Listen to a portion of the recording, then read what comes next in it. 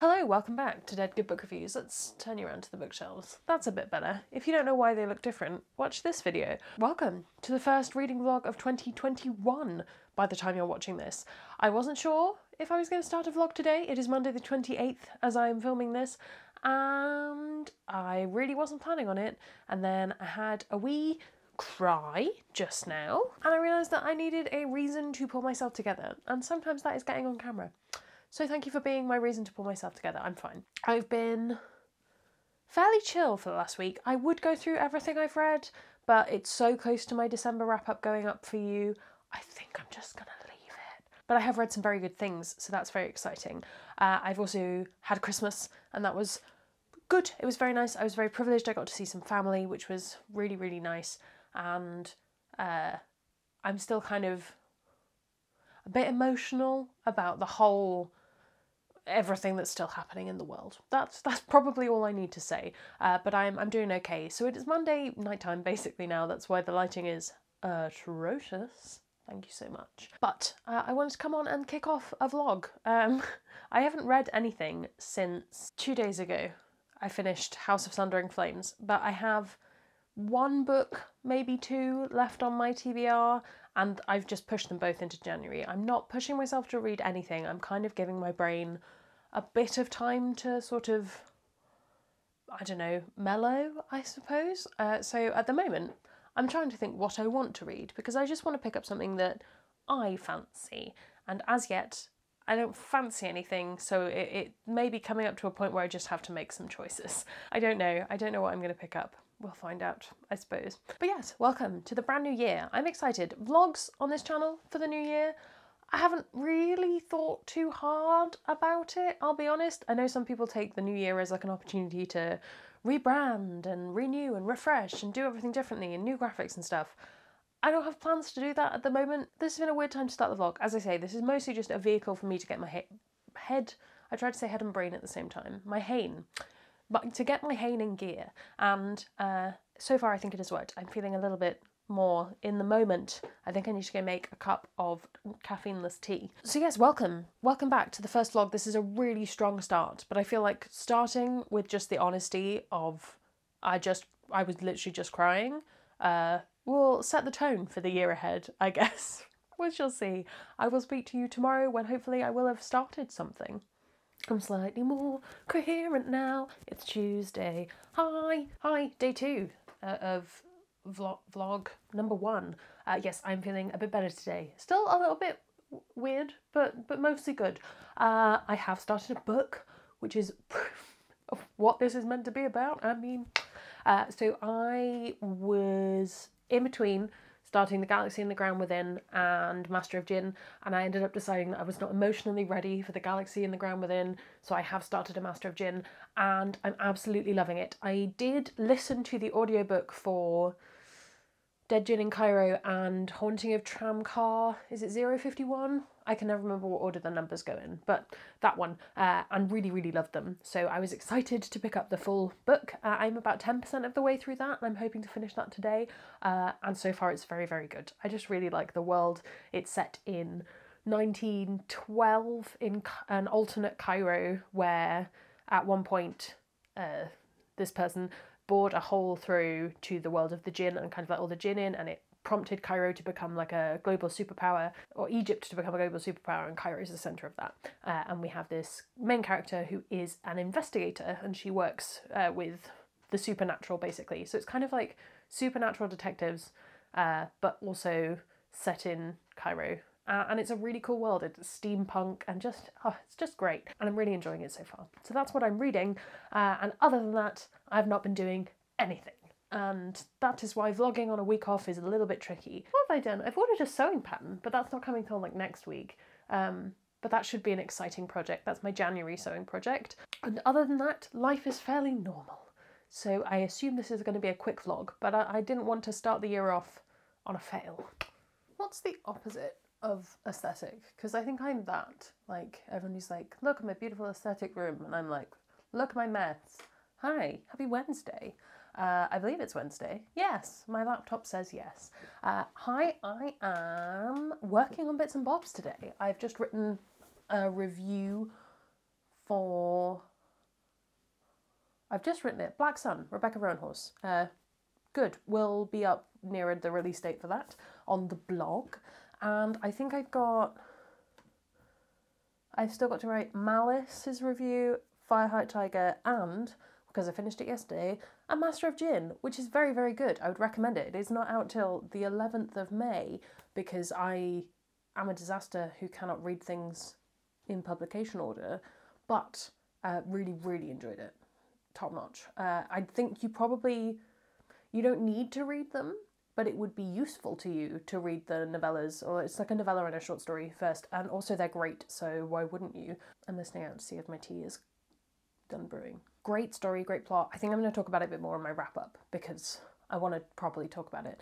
And I also haven't written the review yet, so my thoughts are not all in order, but oh, that's my tea. One sec. And we're back. I, I don't even know what to do about this lighting, but look, look at the steam. Oh, fresh tea. Always good. Um, where was I? Master of Djinn. It's just everything I want. Like, I love a murder mystery, and to add in fantasy and also lesbians and also uh, culture that is actively challenging colonialism, like, oh, it's just good. It's really, really well worth reading, and I'm sorry that you all have to wait till May. But also, the disadvantage of that is I know that other people I know who will read it and really enjoy it, hi Justine, will not read it till May, and by then I will have forgotten everything about it, which is why I must write the review to cement my thoughts so that I can use them in the future, because that's why you write reviews, right?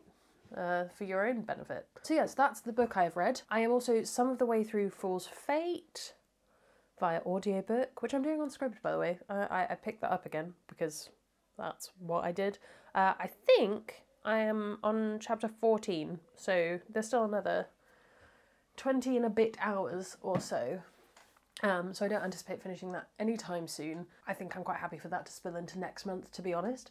So yeah, I think I'm just going to be sort of review writing. I've got some subtitles that need to go onto some videos, so I'm going to be doing that. If I pick up any book, it ought to be Curse of the Divine, because that is out. Oh no, these aren't sorted by pub date. Let's sort them. Gotta love a sort. Uh, yeah, it still ought to be Curse of the Divine. Okay, okay, this is weird Judith brain time, okay?